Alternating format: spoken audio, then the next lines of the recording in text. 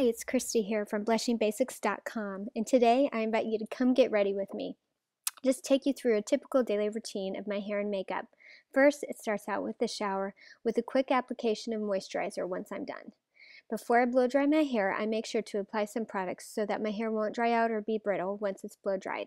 I add a little bit of volumizer to give a little extra oomph to my do, and then I get to blow drying. I like to start off at the beginning at the front of my hair so that I can get control and volume in those sections particularly.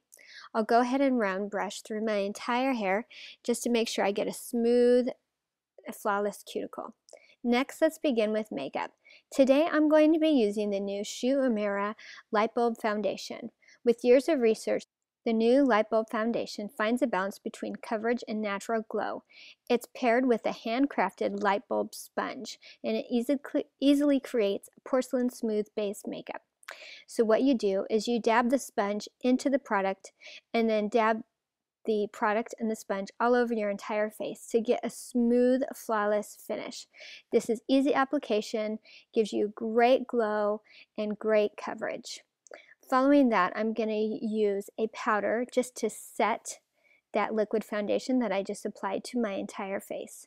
And this powder is also going to give me just a little bit of glow. After that, we're going to use the Shu Uemura blush. I'm using just a light pink color and I'm going to be using that on my cheeks starting from the apples and blending upwards. This is quick makeup, so I'm just doing a really basic brown on my entire eyelid, starting from my eyelashes all the way up to the crease. I'll apply that quickly and move on to my eyeliner. I'm using the Shu Uemura brown eyeliner and I apply that right next to the base of my eyelashes and I just get a nice thick line all the way across and then I'll go ahead and smudge that with the same brush I use for my eyeshadow. Finishing off I'm going to be using some mascara on top and bottom lashes, and then the Shu Uemura Natural Lipstick. And my makeup look is complete. Next, let's move on. We're going to pick out some clothes, and I'll go ahead and grab a striped chambray top, some black pants. I'll go ahead and slip those on, and then we'll move on to just making any last minute adjustments. Then check and make sure my buttons are buttoned up as high as they should be. My hair looks like it should. My shirt is tucked in the way I like it. And then I'm out the door.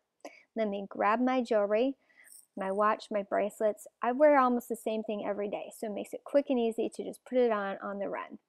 Put on a little bit and one of my favorite perfumes. Grab my purse and then I'm out the door. Thanks so much for getting ready with me and I hope you enjoyed this video.